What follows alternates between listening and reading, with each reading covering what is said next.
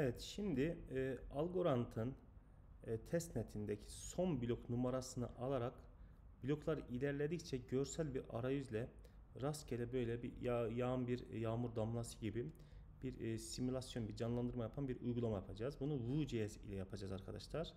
Ve yine bu görsel kütüphanelerden de faydalanacağız. Bakın şu an Algorand testnetteyim. Ben şu an bakın şu an e, sonu 18 19'a geçti. Şimdi burada 19'a geçtim. Her bir blok ilerledikçe bu burada rastgele bir yerden aşağı doğru bu şekilde bir e, çizim yapan bir uygulama bu arkadaşlar. Şimdi bunu nereden kullandık? Bu projeyi nereden faydalandık? Onu ben göstereceğim sizlere. Şöyle açayım ben. Algorand'ın developer sayfasından faydalandım arkadaşlar. Ve burada Real Time Block Visualizer with Vue diye bir proje var. Ondan faydalandım. Diego Seit Anaya Mansilla tarafından yazılmış bir proje. Ve şöyle gelelim. Bakın Algorand JavaScript SDK'in kurulması lazım olduğunu söylüyor. Bunu zaten e, birazdan kodlarda da göreceğiz. PureStack'in API'nin olması gerekiyor. Vue'nun bilmesi gerekiyor ve bir de görsel olarak P5 kütüphanesinin kullanılacağını söylüyor ve Visual Studio'nun JavaScript'te kullanımı için de ilave dokümanlardan faydalanabilir diyor. Şimdi bakın environment'ın kurulumu için Vue'nun kurulması lazım. Vue'nu da kurmak için arkadaşlar şöyle geleyim ben. Şuradan hemen e, Vue.js tutorial'a gelelim. Installation kısmına gelelim. Vue'nun ana sayfasından şu aşağı doğru geldiğimizde Node ile işlem yapacağımızdan dolayı npm'de npm install Vue diye bir komut çalıştırdık mı artık bizim Vue erişilebilir bir şey oluyor arkadaşlar. npm install Vue. Vue ile biz bunu e, çalıştıracağız. Vue'yu bu, buradan kuracağız arkadaşlar. Tamam devam ediyorum. Şöyle geri geleyim. Ee, Vue yüklü. Şimdi gelelim yine kuruluma devam ediyoruz. Vue kurulu olduktan sonra create algo Vue bu şekilde bir isimle biz kodu oluşturunca arkadaşlar şöyle söyleyeyim ben hatta bunu aşama aşama yine beraber yapalım. Kod burada. Ee, bu da burada. Şöyle dursun. Burada şu algo Vue benim çalıştırdığım proje burada ama biz yeni bir isimle yeni bir tane daha oluşturalım hemen. Şöyle iTerm diyorum arkadaşlar. Açtık ve buradan cd şöyle desktop dedim. Buraya geldim. Bakın bu ismini Vue vermiş. Ben e, çalıştırdım ki göresiniz. Şimdi Vue 2 diye bir isim vereyim ben buna. Masa üstünde zaten Vue var. Vue 2 diyorum ve şöyle kurum sihirbazının ilerlemesini istiyorum ben. Şimdi e, burada ben Vue 2 mi olsun? Vue, evet Vue 2'yi kullanıyorum. Ve kurulumun olmasını sağlıyorum.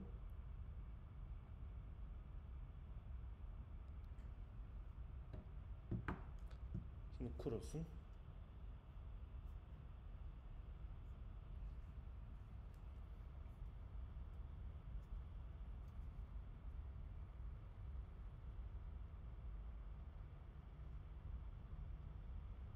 Şu an kurulum aşamaları devam ediyor.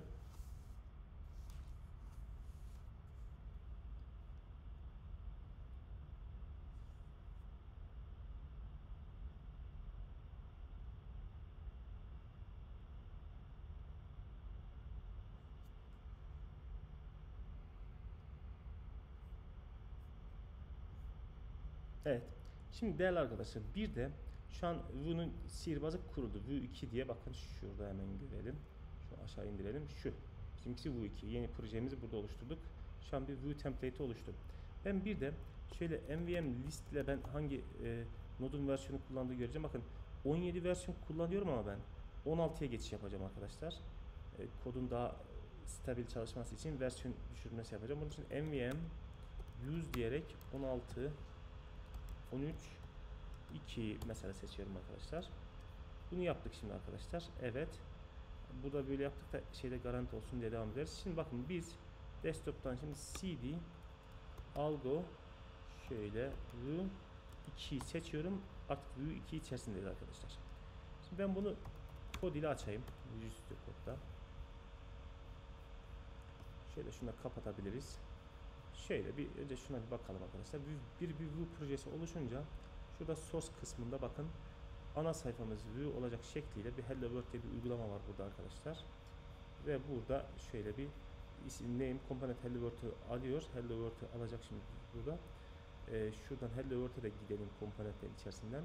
Şöyle baktığımızda görsel arayüzü olan bir kod olduğunu görüyoruz ve burada şöyle e, kodlar kısmında da şöyle serve ko- komutunu kullanarak da biz arkadaşlar npm run server kullanarak da sayfayı yayınlayabileceğimizi görüyoruz. Hemen hatta dilerseniz şuradan şöyle şuradan bir terminal new terminal diyeyim.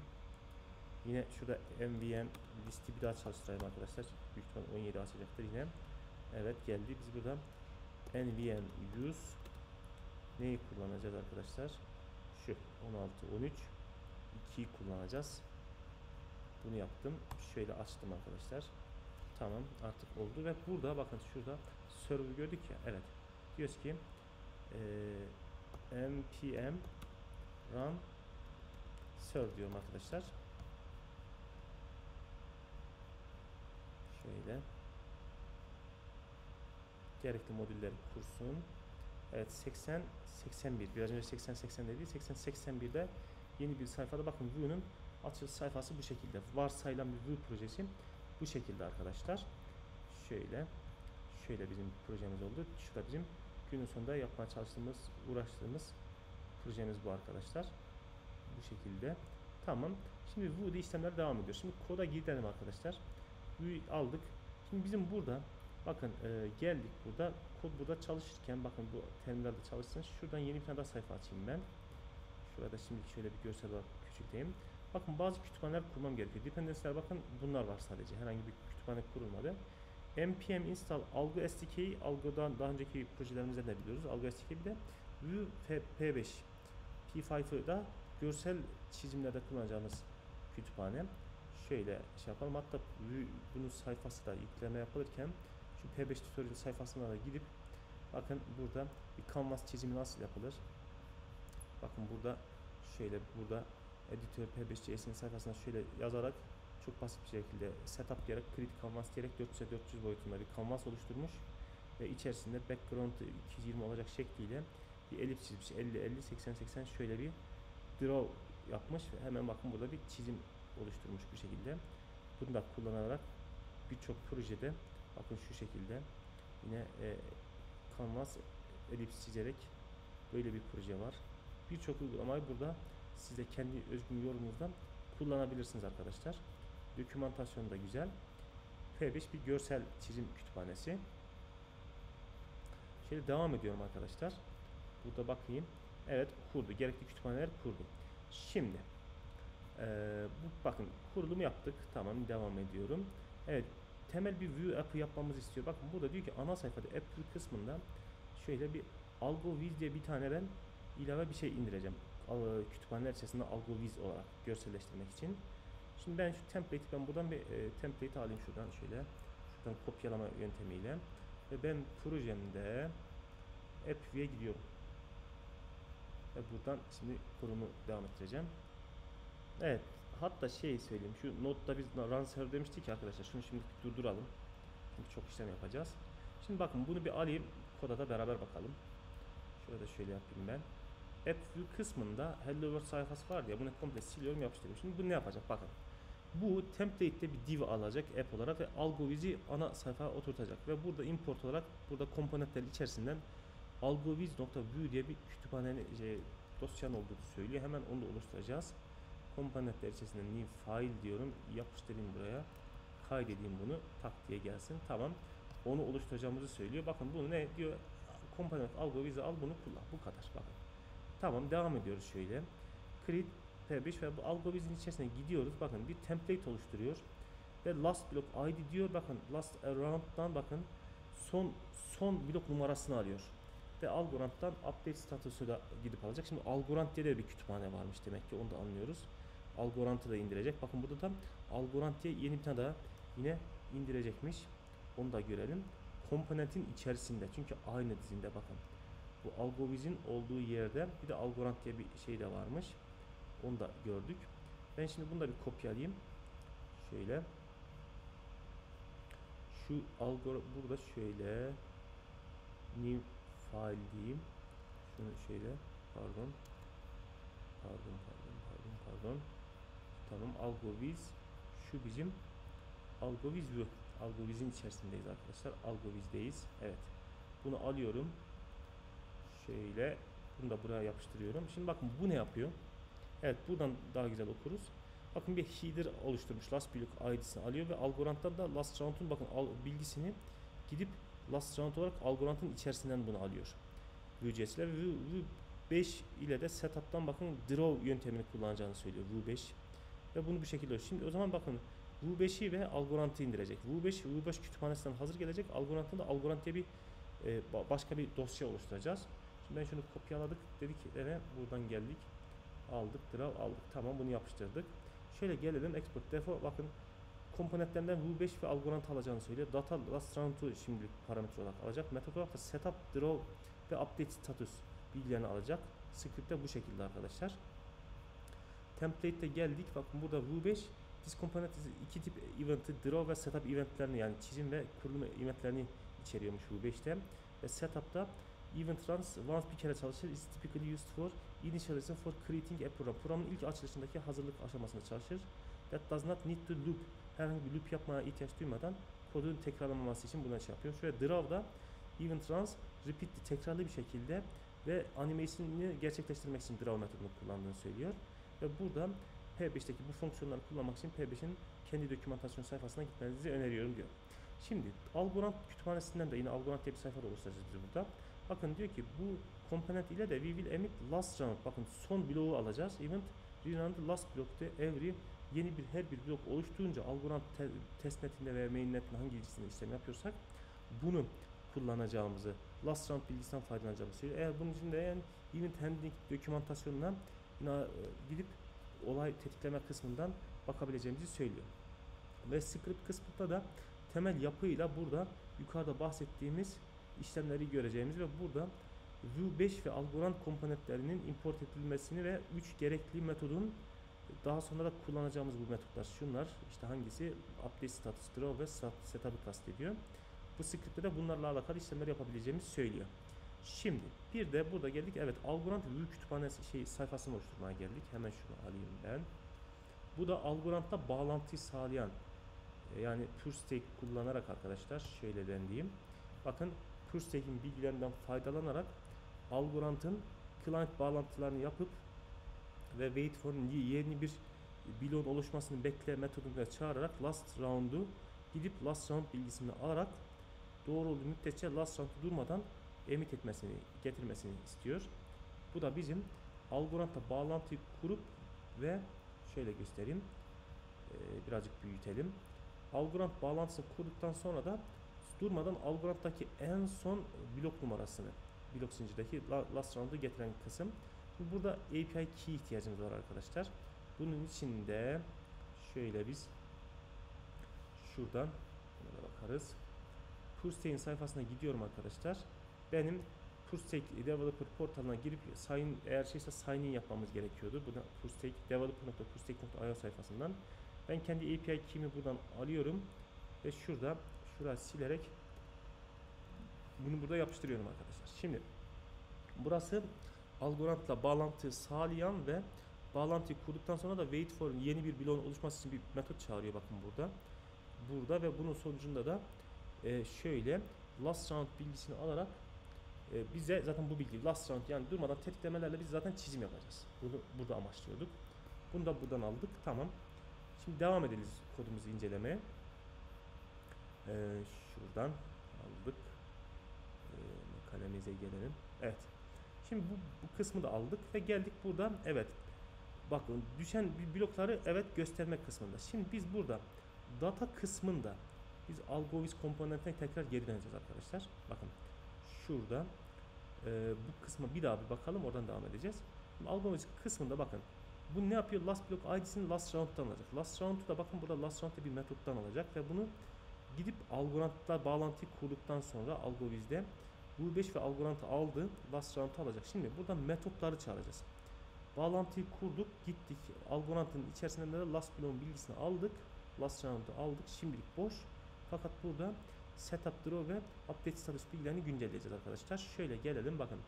Burada default data kısmında yani bizim alacağımız last round data kısmında bakın şu width ve height bir çizim alanı oluşturuyoruz. 600 600 size 20 blok olarak boş kim olacak şekliyle ben data bilgini bu bilgisiyle şöyle işliyorum. Şöyle format doküman diyeyim buraya. Tamam.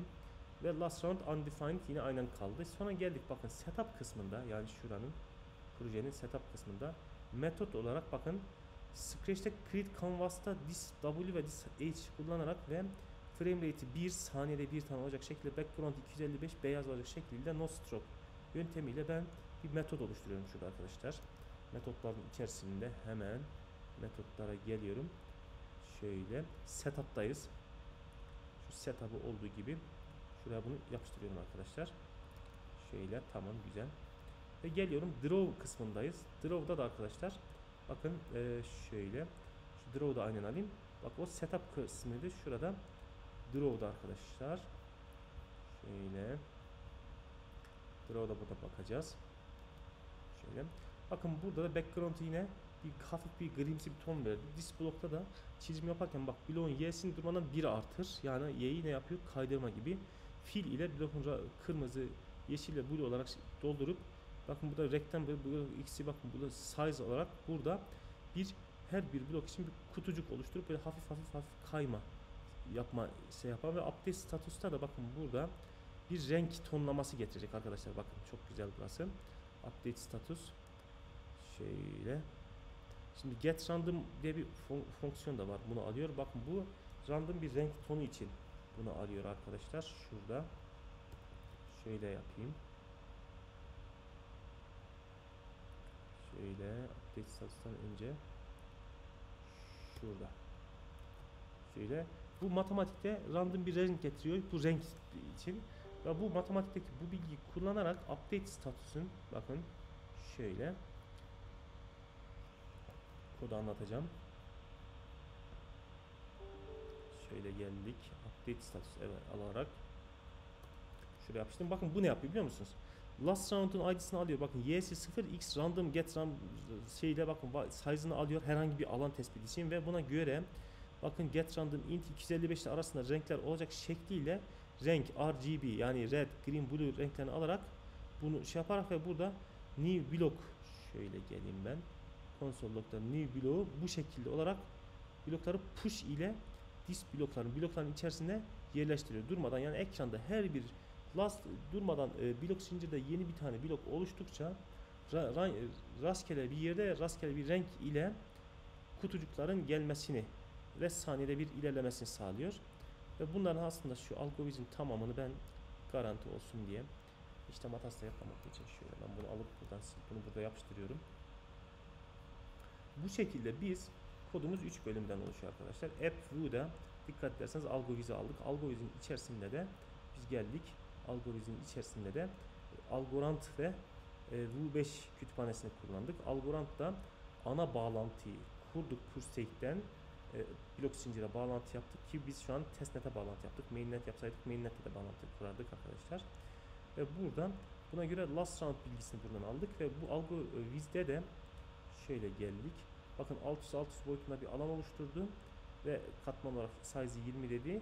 Şöyle metotlarda da kurulumda bir create canvas oluşturmasını, frame rate'in saniyede bir olmasını ve background'un beyaz olmasını, stroke işlemine tabi tutmamasını ve Scratch'te background'u yeni bir hafif bir grid tone getirip bunun üzerinde arkadaşlar dikkat ederseniz blok sa- sayısını artırarak durmadan blok color'ını renk RGB renklerini alacak ve burada da şu blok color'ını random yapacağız ve bloğun x bilgisini size ile oluşturup y bilgisi size ile oluşturup bu size'ları eşitlemesini sağladık ve burada rastgele bir sayı oluşturarak update işlemine göre get random ile bakın renkleri RGB burada renk alıyor ve burada da x konumu da yine random int kullanarak bir size'ının bakın width ve size o- herhangi bir alan olmasını sağlayacak şekilde bu şekilde bir işlem yapıyor ve bunun sonucunda da şöyle serve diyeyim ben yine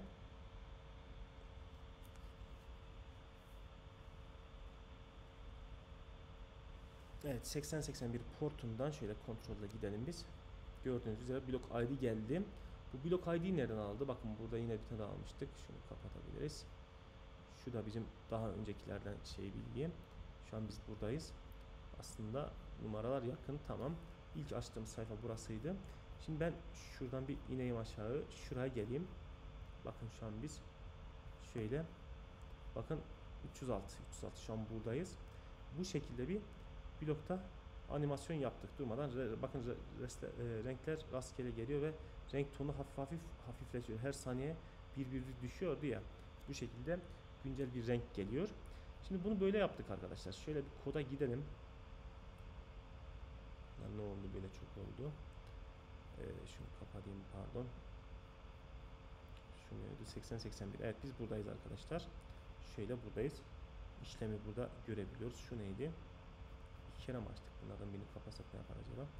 Çalışıyor. Şimdi şimdi biz burada bunu böyle yaptık. Dilerseniz bunu bir de e, build edelim arkadaşlar. Şöyle ben bunu bunu kontrol C ile durdurayım.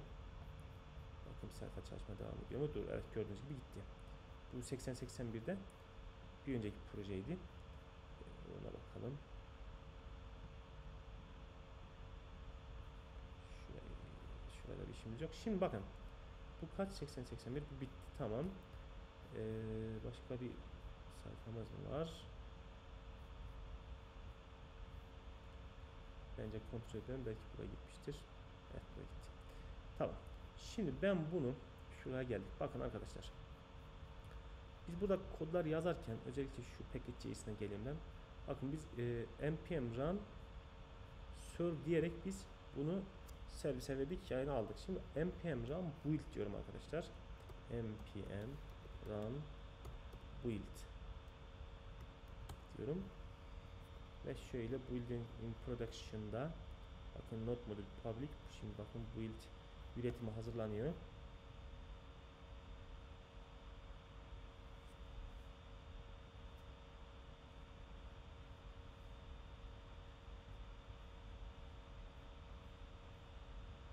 Evet. Fail oluştu. Bakın burada dis diye bir klasör geldi arkadaşlar. Dikkat ederseniz dis. Artık burada dist olarak geldi. Şimdi ben buradan bakın cd diyorum arkadaşlar. İçine gidiyorum.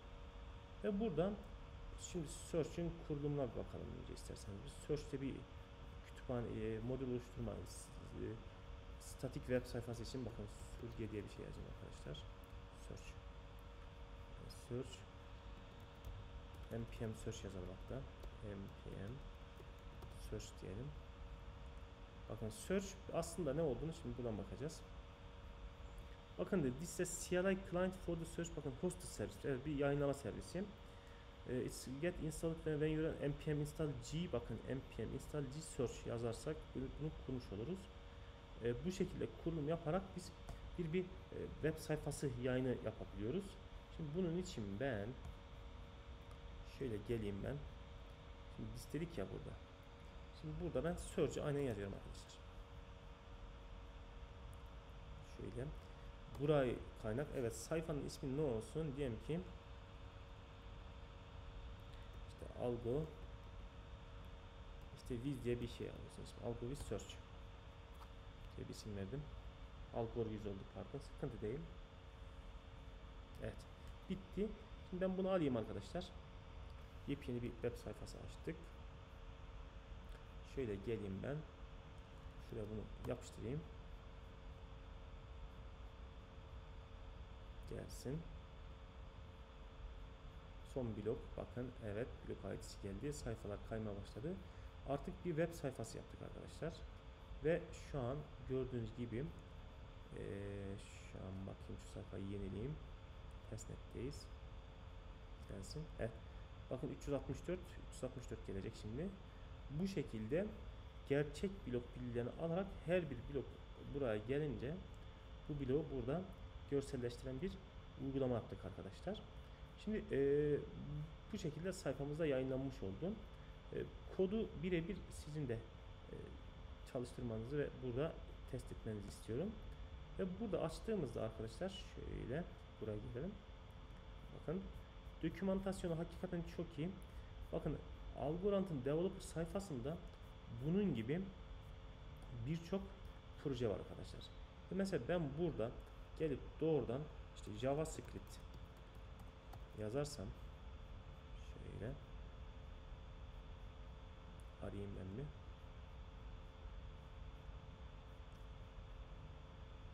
Bakın burada tool'lar var. Hatta onlarda da bakabilirsiniz. tool'lar ve projeler. Şu bizim bunlardan bahsettik. Doküman kısmına geldiğimizde Developer Portal'da şurada ilk önce bir e, SDK'lere gidelim. Ve bu da JavaScript var. First Transaction işlemi için burada yine guide olarak kurulumda bir kitap Sandbox'tan bahsediyor ama biz PureStack'ten faydalandık. Sandbox'ın kurulumu çok vakit alıyor. Bilgisayarınıza bildiğiniz Algorand'ın bir demosunu indiriyorsunuz tabiri caizse. Ve burada npm install algo SDK ile bunları yapıyor. Burada video dokümanlar da var bu arada arkadaşlar. Ee, bu şekilde işte hesabın oluşturulması. Şöyle geldik. Geldik burada. İşte transaction'lerde bakın yine algo token'da server olarak localhost'tan yapıyor. Çünkü bu şu yukarıda bahsettiğim e, sandbox'ı kurduğunuzda sandbox sizin bilgisayarınızda localhost'unuzda bakın port 4001 portunda localhost'ta bildiğiniz bir Algorand'ın e, e, klonunu bilgisayarınıza kurmanızı sağlıyor ve bunun sonucunda şuralar daha önceki bilgilerini client'tan bakın e, account information'dan adresten biz gidip e, amount'u öğrenebildiğimizi yapmıştık ve burada tutar göndermesi için bakın make payment transaction ve parametreler gibi birçok işlemi burada dokümante edilmiş haliyle burada görebiliyoruz arkadaşlar. Sayfaya şöyle bloğa gidelim bir de. Blogda da bakın birçok makale var burada. Tutorial'lar var. Şöyle gelip Python'la yapılmış tutorial'lar var. Ee, Azure'da yani bulutta yine yapılmış işlemler var. Çözümler bakın mesela Mora Game using Rich. Rich de bir başka bir dil. Ee, bunu da kullanarak e, Algorand'da ürünler, hizmetler çıkarabiliyorsunuz. Oracle sorunuyla alakalı akıllı kontratlarda Oracle işlemlerini burada görebiliyorsunuz.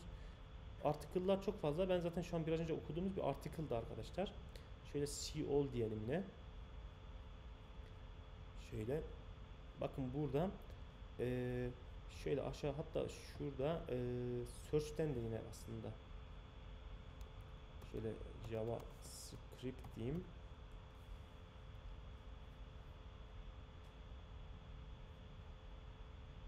article'lardan enter. Bakın burada TypeScript desteğiyle algılanan JavaScript mesela bunu bir bakalım şöyle derseniz. Bakın ee, şöyle gelip e, TypeScript hakkında yani JavaScript'in tip özellikli bir projesi bu. Ee, burada Node.js kurulumunu geliyor.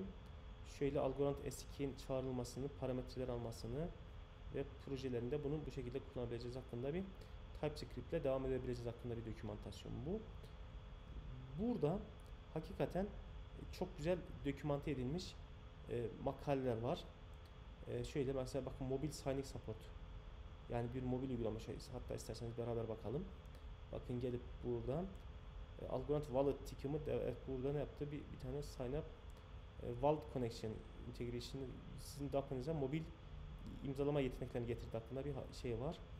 Wallet Connect'e bakın bir uygulamanın şöyle defterin böyle olduğunu burada bir iş bir serverlar üzerinden wallet'ın bağlantısının işlemlerinin ve burada QR kod ile e, veya status bilgilerinin, seçim bilgilerinin, oturum bilgilerinin burada alarak işleme gitmiş süreçlerini anlatıyor. Bu konu hakkında yine bir YouTube'da kayıt var. Oradan faydalanıyor ve burada wallet'ın bağlantılar hakkında da bilgiler var. Bunları inceleyebilirsiniz.